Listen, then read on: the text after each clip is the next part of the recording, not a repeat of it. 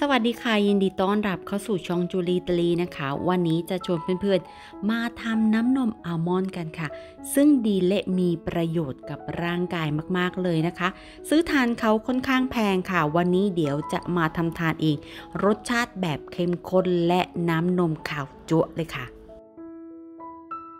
จะใช้เป็นเมล็ดอัลมอนด์อบแห้งแบบนี้นะคะ ใช้การต้มน้ำให้เดือดนะคะ แล้วเทแช่ในอัลมอนด์ของเราค่ะ 5 นาที แล้วเราก็เตรียมปอกเปลือกของเขาได้เลยนะคะ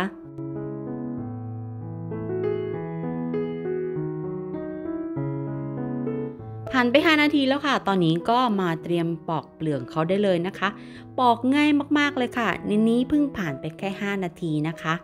เราก็มาลองปอกกันเลยค่ะ เห็นไหมคะ เขาจะออกแล้วก็ร่อนออกง่ายมากค่ะ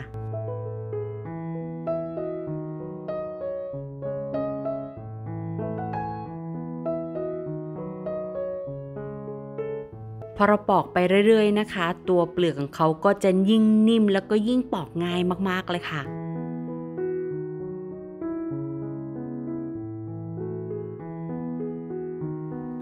มื่อปอกเสร็จแล้วนะคะ ตอนนี้เราก็เทน้ำสะอาดค่ะแช่ไว้ 8-10 ชั่วโมง หรือข้ามคืนก็ได้นะคะ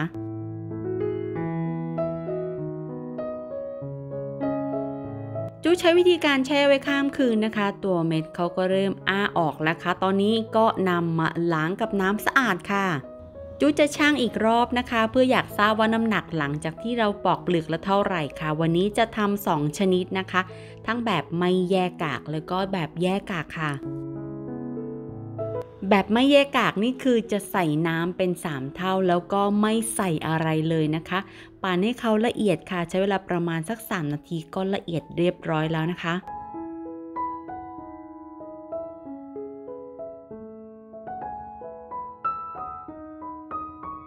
ปั่นแบบที่ 2 นะคะ แบบแยกกากค่ะ จูจะใส่ทั้งตัวเกลือและ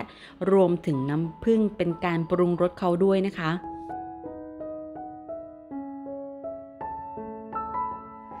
เมื่อปั่นเสร็จแล้วเราก็นำไปกรองด้วยผ้าขาวบางนะคะ ตัวน้ำนมเขาจะได้เนื้อเนียนมากๆค่ะ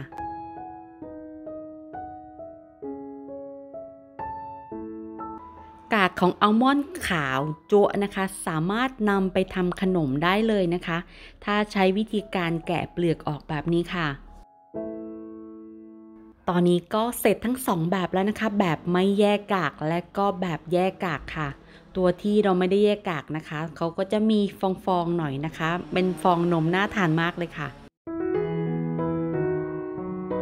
น้ำนมทั้งสองแบบของเรานะคะ จะมีสีขาวสวยมากๆเลยค่ะ น่าดื่มมากๆด้วยนะคะ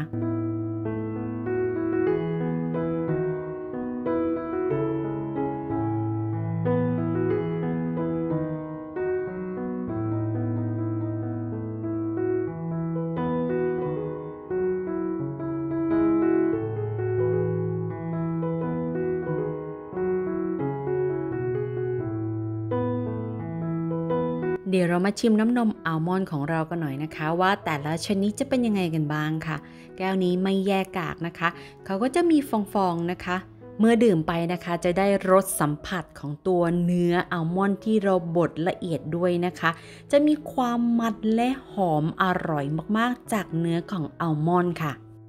ส่วนแก้วที่มีการกรองนะคะ จุกก็ได้มีการเติมเกลือแล้วก็น้ำผึ้งลงไปด้วยนะคะ ก็จะมีรสชาติที่กลมกล่อมอร่อยหวานมันด้วยค่ะ เดี๋ยวไปชิมตอนที่เราแช่เย็นๆนะคะ ว่ารสชาติเขาจะเป็นยังไงกันบ้างค่ะ เมื่อแช่เย็นแล้วนะคะ รสชาติเขาจะมีความ